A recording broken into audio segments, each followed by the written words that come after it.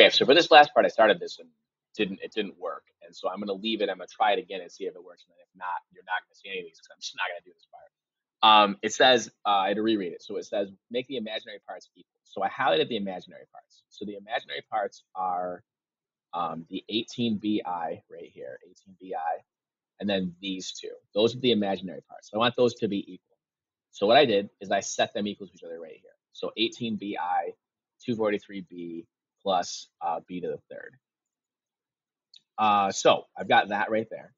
All right, I cross the i's out because I don't care about the i's. I just want the b values to be equal. I want everything to be equal, and there's an i every place. So I can think of it as dividing out an i, or I'm just going to get rid of it because I don't care about it. All right, so I end up with this right here. And then I was looking at it and I'm thinking, all right, well, I could maybe factor this. Um, but we didn't do factoring yet. So probably I can't do that. So I can put it into my calculator and I can see where they cross, which is what I was trying to do. And then it froze my calculator. So I had to stop the video. Um, so I'm going to put an 18x into the first one. And I'm going to put 243x plus uh, x to the third, not negative, x to the third in there. All right, so there is my, um, there's my thing. If I hit graph, it draws two really weird looking lines. And it's because uh, the two, the 18, the 18b is the blue line. The 18x is the blue line. It's just a really, really steep line. The 243x plus x to the third, the second one, that's a it's a third power equation. It's it's gigantic. All right, it's really, really, really big. It's really steep. It's really big.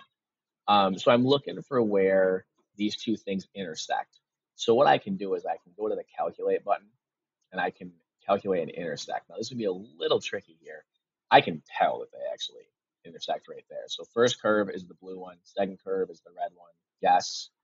I'm gonna just move my little pointy guy over there someplace and hit enter. All right, and it intersects at zero, zero. All right, so one of the intersections is b equals zero. There are other ones, and when we factor it, you'll learn how to do that. All right, so it's it intersects at b equals zero, and if you're not sure, 18 times zero is zero. 243 times zero plus zero to the third is zero. All right, so zero works. There are two other values for this. All right, but zero works. This is not important. If you made it to this video, don't worry about this because we're going to learn about this if we do it later on.